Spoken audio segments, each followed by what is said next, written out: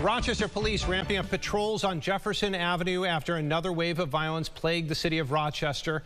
This area in particular saw three shootings, one of them killing a boy just 15 years old.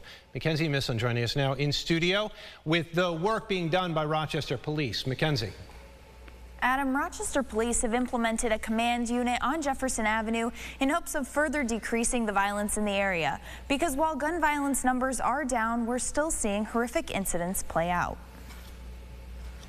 Rochester remains under a state of emergency for gun violence as the order was extended just last week. So far this year, there have been 150 shooting victims in the city, while last year there were 351 shooting victims total. Although shootings are down from last year, Lieutenant Greg Bello with the Rochester Police Department says violence is still a major problem for some neighborhoods.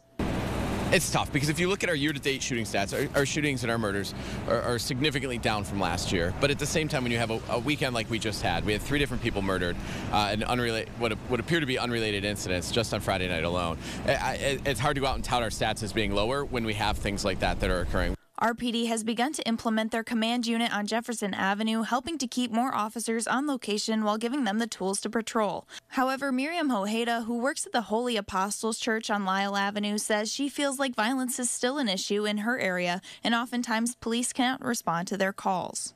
I know it's they're probably overwhelmed with things, but I hope that they know that when we call is because we need them. But Bello says they're doing their best to patrol higher volume areas of crime while being understaffed. Most of our shifts, if not all, are, are generally operating at, at, minimum staffing levels. So when you put together a plan of how you want to staff something, you, you have your bare minimums that you have to meet. Calls hold at times, unfortunately, because we're not we're not staffed, unfortunately, to hit all of those calls. The command unit will be stationed on Jefferson Avenue for the rest of the week with officers rotating shifts. There will also be multiple officers patrolling neighborhood streets during this time. Adam. Mackenzie, thank you for that report.